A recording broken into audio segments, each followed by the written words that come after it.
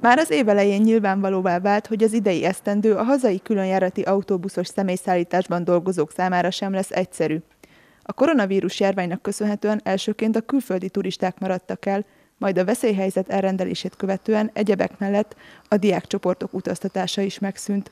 A munkásszállításoktól eltekintve már a gyakorlatilag teljessé vált a leállás a szektorban. Azt gondolom, hogy ha nem sikerül mi hamarabb egy olyan munkai megtartó támogatást ennek a ágazatnak nyújtani, tehát itt gondolok ugye az autófuzós személyszállítókra és az árufozókra is, akkor bizony tömeges elbocsátásokra lehet számítani, hisz nem bírják a vállalkozások a tartalékaik terhére finanszírozni. A magánvállalkozók Nemzeti Fuvarozó Ipartestülete az elmúlt héten nyílt levélben kért segítséget a miniszterelnöktől.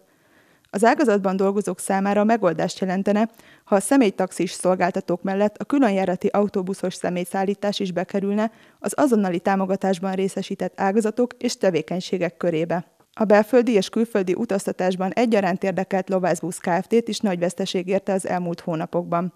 A társaság ráadásul idén ünnepli tizedik születésnapját, melyhez kapcsolódva színes programot állított össze. Több mint száz út volt így kilátásban tervezés alatt, és ezeket tényleg nagyon-nagyon sokan pozitívan értékelték. Januárban már alig várták a katalógusoknak a megjelenését. Nagyon sok volt már akkor is az értetődő, nagyon pozitív volt a hozzáállás, rendkívül sok út volt már befoglalva, és az a száz közül száz több mint száz útból nem, lát, nem tudjuk, hogy mennyi fog igazából az idén megvalósulni. A személyszállítással foglalkozó cég nagyon sok biztatást kap utasaitól. Simon Kis Tíme elmondása szerint a nyárral kapcsolatban bizakodóak, ezért néhány belföldi utat már közzé is tettek az oldalukon.